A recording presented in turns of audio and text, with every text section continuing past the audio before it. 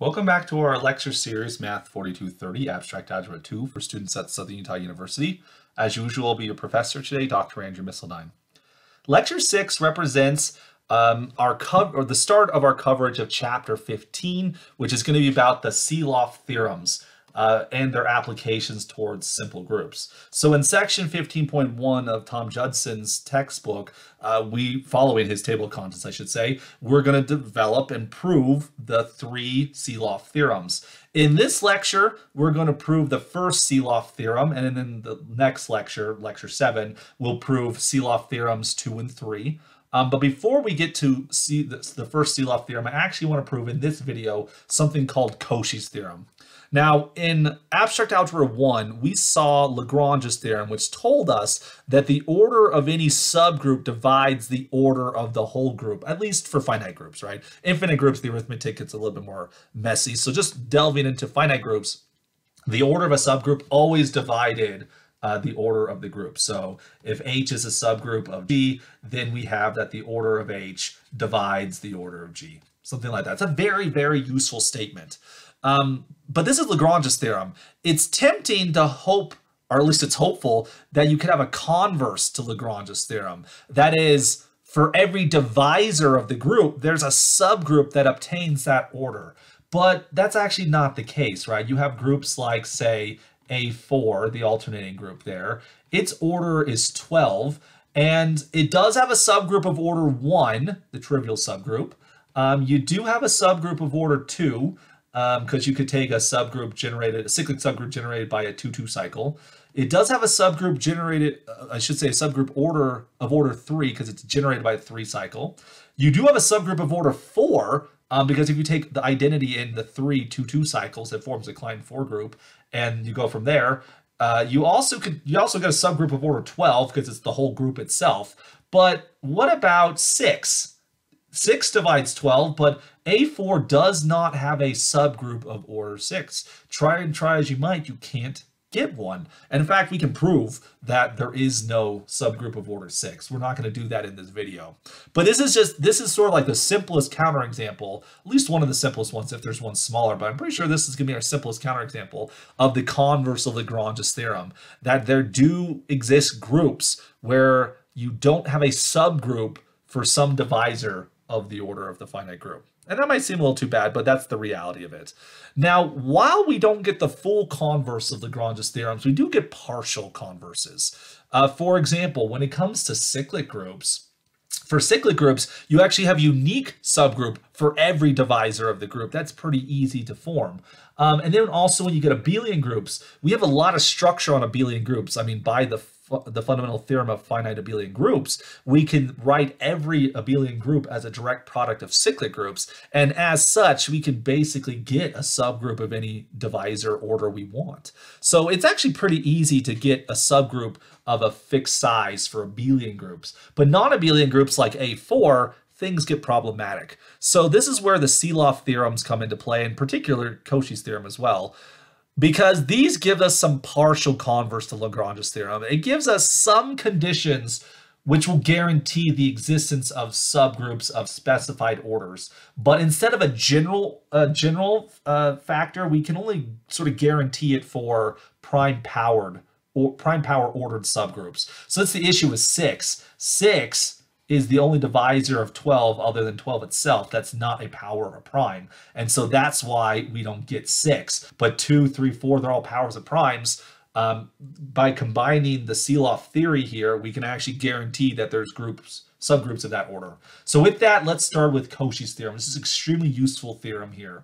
Cauchy's theorem says that if G is a finite group and P is a prime, such that P divides the order of G, then there is an element of G whose order is P. So every prime divisor of the order of the group, that group will have an element whose order is that prime divisor. And the proof of Cauchy's theorem is going to follow by induction. And we're going to play induction on the order of G, like so. So, you know, if, if G is equal, if the order of G is equal to 1, it's the trivial group. Uh, this is vacuously true in that situation. So let's then go up. if the order of G is a prime number, we've seen previously that the only groups whose order is a prime is a cyclic group. And like I mentioned, with cyclic groups, we've studied those in Abstract Algebra 1. Um, cyclic groups have a unique subgroup for every order. In particular, if you take a prime divisor, it's sub there will be a subgroup whose order is p, and it'll be generated by an element of order p, right? So it's pretty trivial when you're prime. All right, so then let's assume we maybe have composite order. Let's suppose that the result holds for all groups whose order is less than G. So that's the induction, the induction hypothesis right now. So considering the order of G, every group less than G, its order, if its order is smaller, which it does because it's smaller, it satisfies this property.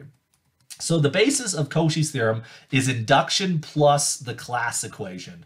Remember the class equation, it tells us that the order of the group can be decomposed as the order of the center of the group. The center of the group is all of the elements of the group that commute with everything. And then we have we add to the order of the center a bunch of indices. These are indices of centralizer subgroups, for which you'll remember that a centralizer subgroup, what's C of xi, x1 here? The centralizer subgroup, this is all of the elements in the group G that commute with uh, that commute with xi right there.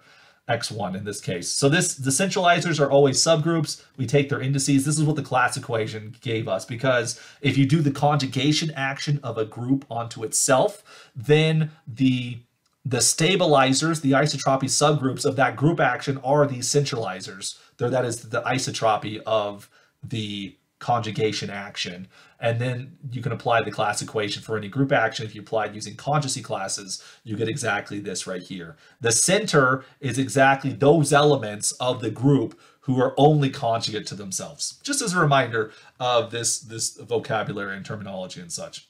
So in particular, those elements that are showing up, that are represented over here, the x1, the x2, the xk, these are elements which are non-central. So they are, they are conjugate to multiple elements in the group besides themselves. In particular, since they are non-central elements, their centralizers will be proper subgroups, and thus these indices, um, they're, they're going to be relevant to consider, okay? So continuing on here, Suppose that there is an index g colon c of xi for some xi that's not divisible by p. Well, by Lagrange's theorem, the order of g is factorable as the order of the centralizer with then the index of the centralizer. Well, since g by assumption divides the order of g, by Euclid's lemma, since it's a prime number, it must divide either this factor or this factor.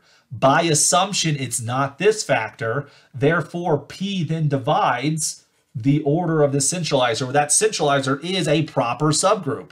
Therefore, we see that we've now produced a subgroup who has an order divisible by prime, uh, by P, and it's a proper subgroup, so it's a strictly smaller order. By the inductive hypothesis, um, the centralizer has an element of order P, and as it's a subset of G, that means G has an element of order P. So the result follows by induction in that situation. Well, what's the other possibility? Let's suppose that all of the indices are divisible by P, okay? So the order of G equals the order of Z, the center, and then you have all these centralizer indices, something like that. Um, we can move these all to the other side of the equation. So we get the order of the center is equal to the order of G minus um, all of these centralizer indices. There's a bunch of those. So the point is this element is divisible by P. This element's divisible by P. All the other elements are divisible by P. So the entire sum is divisible by P which means that the, the order of the center must also be divisible by p, okay? And so then we want to focus here. So we know that p divides the order of the center. Now, we might just want to say induction at this moment, but we actually don't know that the center is smaller than the group. Because what if it's an abelian group? An abelian group, the center is the whole group itself. So the order of the center might not be smaller because the group could be abelian. But whatever the case, we know that Z of G is an abelian group. So the fundamental theorem of finite abelian groups applies to the center.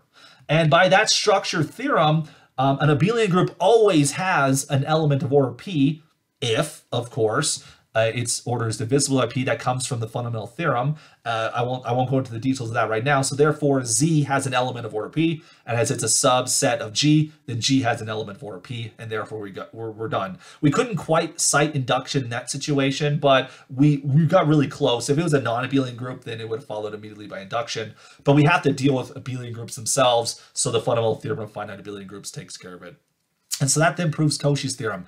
Every group whose order is divisible by a prime has an element whose order is a prime, that same prime. And so, in particular, let G be a finite group whose prime is whose, whose prime P divides its order, then G has a subgroup of order P. So we switched from an element of order P to a subgroup of order P.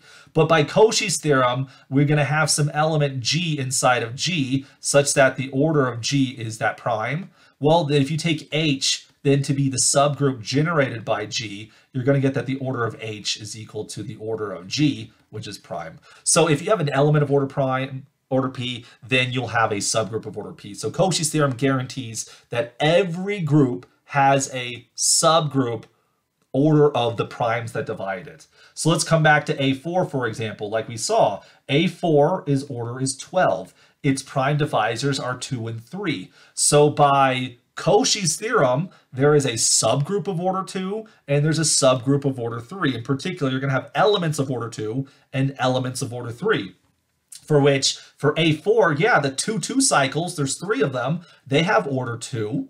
Um, and then there's eight 3-3 cycles in A4, they have order 3. Those are the elements that were guaranteed by uh, Cauchy's theorem. I should also mention that Lagrange's theorem says the orders of an element can only divide the group, um, and therefore you can't get any other prime divisors for the orders of elements than those that show up. So two and three are the only prime orders you can have in A4, and they're all realized. That's the limitations of Cauchy's theorem, though.